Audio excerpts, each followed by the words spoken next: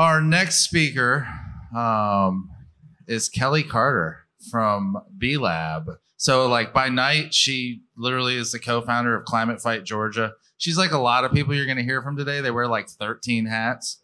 Um, and then by day, she's a sustainability analyst at B Lab, the nonprofit that oversees and certifies B corporations. So she's one of those people you get on the call with at the end of the journey, and you're fighting for every point you can with.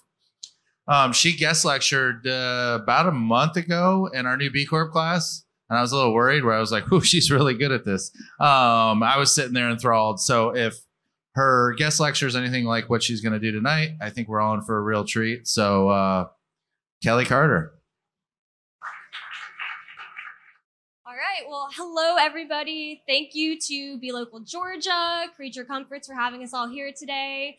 I'm very excited to come speak. As Nathan said, my name is Kelly Carter. I'm a graduate of UGA's Terry College of Business. So I'm also very excited that with Dr. Chatterjee and all of the great programs at Terry, that there's really an emphasis on sustainability going forward. Also thrilled to be back in Athens too. What I'm really excited about tonight is being able to talk a little bit about my passion for the B Corp movement and share a little bit more about it with all of y'all. As Nathan mentioned, I work for B Lab, which is the nonprofit that certifies B Corps. And I think, Nathan, you talked a little bit about this earlier, but you may be wondering what is a B Corp? So, B Corps, certified B Corps, are businesses that meet the highest standards of social and environmental performance, public accountability, public transparency, and legal accountability to profit and purpose. And I figure most of you, are, you all are here today because you believe in using business as a force for good or creating a greater change in the world. And that's really what the B Corp movement's all about. The movement is really trying to shift the current or more so 20th century approach of state shareholder capitalism to stakeholder capitalism. So shifting from just focusing on profitability to really creating value and benefiting your community, customers, the environment, and your workers as well. And on top of this, not only is doing this, I, I, think, the most ethical way to do business, it's what consumers are demanding and it's what the market's wanting. I've been reading over a number of different studies, and one of the ones that I wanted to kind of briefly mention was from the Economist Intelligence Unit that showed there was a 71% rise in popularity of searches for sustainable goods in the past five years. So this was throughout the COVID-19 pandemic as well. There's a very high demand for this. So you may, outside of the demand for sustainable and consciously made, ethically made goods, there's a lot of benefits to being a B Corp as well. And I specifically work with these companies that are going through the certification and verification process have a lot of conversations with them. And for me, I kind of group the benefits that I hear them speaking about into three different categories. First of which is differentiation. The second of which is continuous improvement. And the third of which is financial benefits. So for the first benefit of becoming a B Corp, differentiation, a lot of B Corps say that differentiation is a very powerful tool for them to stand out from competitors. Being a B Corp requires a lot of a rigorous review that allows for you to prove that you are walking the talk, that you really are authentically creating impact in your work. And a lot of competitors won't be able to say that. They don't have this certification. It adds credibility and lets consumers know that you're a standout. On top of that, it's also just great for your own marketing and branding and PR purposes as well. In addition to that, when it comes to hiring talent, especially from the millennial, Gen Z generations, we're really looking for an employer that we feel that allows for us to create something greater in the world.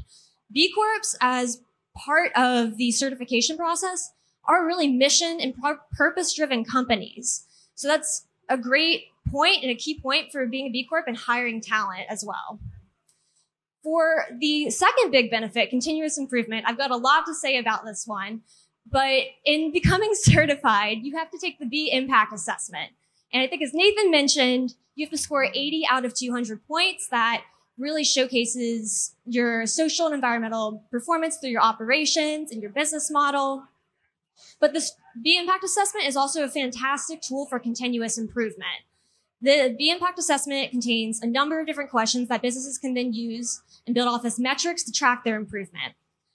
Additionally, once becoming a B Corp, you do have to recertify every three years to continue to prove that you are creating the impact that you say that you're creating, that you're continuously improving your business. So it holds you accountable for continuous improvement in the social and, provi- social and environmental goals as well. Additionally, a new assessment is released every three years, and there are new questions in this assessment.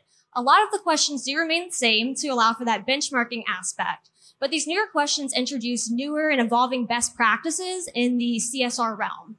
So it's a fantastic way for your business to stay on top of social and environmental trends and such as well. Personally, one of my favorite things about the B Corp movement, and one of the things that I hear the most about from the companies that I work with, is the collaborative community around it. As you can see, so many people showed up today to learn more and talk about doing business better. And from be- becoming a B Corp, you get access to very exclusive programs that allow for you to network with other businesses that are B Corps. There's over 4,000 B Corps, so you've got a lot of different individuals that you can speak with and learn from through either roundtables or community events. And I find that that's one of the biggest key takeaways and values of being a B Corp. Lastly, for the third big uh, beneficial kind of category that I feel a lot of companies speak to is the financial benefits. As part of the review that I do, I look at company suppliers. And a lot of companies purchase from other B Corps because B Corps will offer discounts to other B Corps. I think too, from a business perspective, it's nice because you know that the supplier that you're purchasing from is doing business ethically and that you can trust that coming, purchasing those products or services, you know that they're treating their employees properly, that they're involved in local community and that they are respectful to the environment. Additionally, for those businesses that are trying to raise capital or are looking into impact investing, being a B Corp is a huge plus too. Um, we see a lot of impact investing firms pushing for this and having companies take the assessment and observing their score, the different areas of material impact for these companies before deciding to invest. Now, I know that I've probably maybe taken uh, five minutes and I could honestly talk about this for much longer. So please come find me afterwards if you're interested. But once again, thank you to B Local Georgia, Creature Comforts for having us all here today. And if you're interested in using your business as a force for good, please come talk to me and B Local Georgia and all of the folks, Nathan, Zach, everyone um, that have been mentioned through Dr. Chatterjee's speech and Nathan's introduction to learn more. So thank you again.